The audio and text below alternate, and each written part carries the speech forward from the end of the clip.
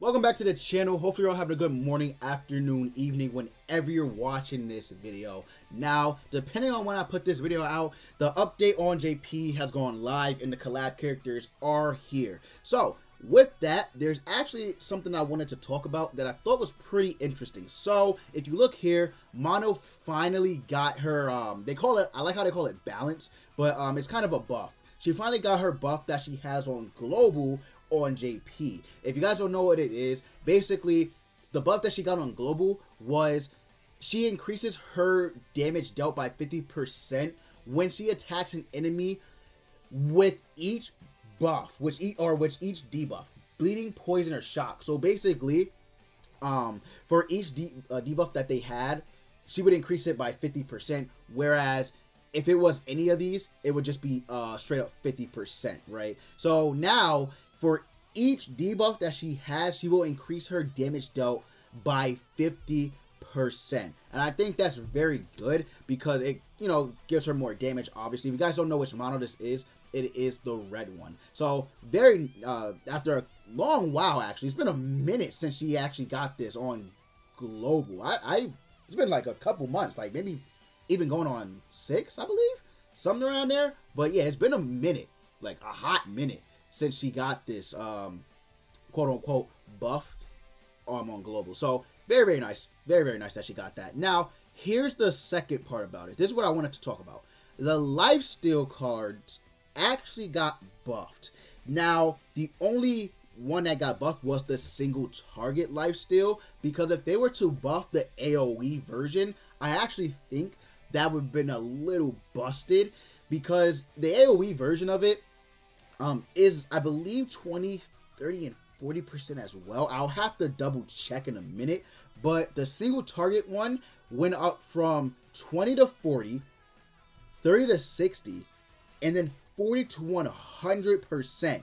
Now, Beatrice had this, and I didn't even think about it till I read a comment on one of my videos, and someone mentioned that they might buff this card, and that, that even crossed my mind when I went over it. So, they are indeed buffing it, which is nice. So I think this card might be better in a sense that if you do have a rank 3, you will be able to heal a lot. Even rank 2, right? I, I Actually, I think all of them. Because 40% of uh, damage that you do depending on the unit, can actually be very nice. So let's go ahead and let's go over to the Grand Cross database and we will go to the skill filter and everyone who has a, a lifesteal, I don't know if you can check that actually. Oh yeah, you can. Okay. So these are currently, um, Beatrice will be added to this, but these are currently all the units that have lifesteal skills. Uh, we'll check them right now. So Green Bond has this. Green Brawler Bond has this. Now, this isn't gonna make him better, but this skill is. It's gonna be a lot better because the damage doesn't change, but the amount of life steal that he, um, you know, does increases. So it's actually, it actually is better. Like I'm not even gonna lie, it is a lot better because of the simple fact that if this Bond does use his snatch, he does do pretty decent damage. Like, no lie, he does do pretty decent damage. It's just that he's kind of you know, he's, he's obviously bad, but, um, you know, having it be at 40% at rank 1, and then he has 60 and then 100, I mean, it's not, it's not a bad buff to Bond, who desperately needs it like desperately needs it. So again, if you use the snatch, he actually might do pretty good damage with this card. But uh, yeah, that might be something that uh, a, a JP content creator like Nag or like Speedy or someone or someone like that could actually you know do um, even Mar- like Marilli, some someone who does JP content, maybe they want to experiment with with him. You know, now that he's gonna get said buff, so that's cool. Um, but yeah, I think this is very nice. The ultimate move also increases from 40 to 100. Now, that's big. That's actually really big because ultimates do really good damage regardless. So very very nice there. So let's look at the other units that have this because um there are a couple, and the latest one to have it is Denzel. I believe Camilla has a single target one. No, she has an AoE. So she has an AoE. So, okay, so the AoE is 30% on both. It may, maybe. Hold on, give me a second, because it might be different.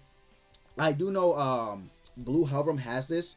Okay, so yeah, it is 30% and 30%, which, nah, I mean, I get it's AoE, but eh, it's really not that great. In all honesty, it's not that great because most of the times AO, AoEs do less damage than single targets. Actually, probably all the time, AoEs do less damage than single targets do. But uh, yeah, stealing 30% of everyone's HP is, is I guess I guess you could say it's good, but again, weak multiplier, even on rank two, rank two is weaker than a single target's uh, rank one, by the way. So keep that in mind. But uh, yeah, I, I think honestly they could have could have buffed the AOE version a little bit, but it's fine, it's fine. But yeah, Denzel, Denzel actually might benefit from this a lot because he's not that great. He still won't be that great. Again, this lifesteal buff is not going to change the meta.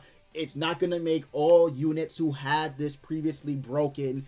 It's just going to give them a little bit more um a little bit more, you know, oof to their kit, I guess you could say. But yeah, Denzel has this, so it'll be 40, and then it'll be 60, and then 100%. So I think it's a very nice buff, actually. I think it's, you know, decently, uh, decent buff, you know, to give to units that have this. Melascula, now Melascula has it on her ultimate, and she's basically going to be God when it comes to lifesteal, because she does have the highest lifesteal in the game, I believe, being at I think my blue Melascula on my account is at 60% lifesteal. So yeah, both Melasculas have the highest lifesteal in the game, I believe, currently. Uh, again, not going to put them on the map, but this is nice, right? Blue Hendrickson, he has this now, so he'll be at 40, 60, and 100%. They're still not going to be good, but I think it's just a very nice buff in general just to give, you know, the units a little bit more oof. Again, 100% life steal now, so whatever she, again, she's going to heal more than her health. Keep that in mind, because, again, her life steal, man, oh, you can, okay, they added something to this, that's nice. But, yeah, 53% without costumes or anything. Then 100%, just insanity. An absolute beast.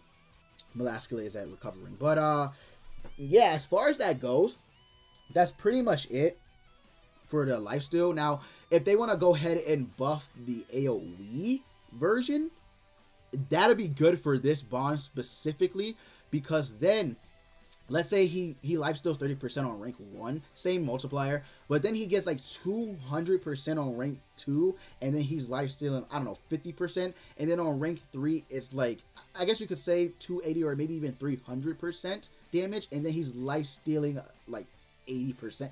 That'd be insane. That would be absolutely insane. But regardless, um, we'll see what happens. I again, I do think this is a very nice buff for lifesteal, you know, lifesteal skills. So very nice indeed, very nice indeed. But that's pretty much it. That's all I wanted to talk about. I thought it was a nice little discussion video that we could have together. Um, but yeah, if you did enjoy, you got it this far, be sure to leave a like. Also subscribe if you're not subscribed already. Thank you guys so much for watching, and as always, I will see you all next time.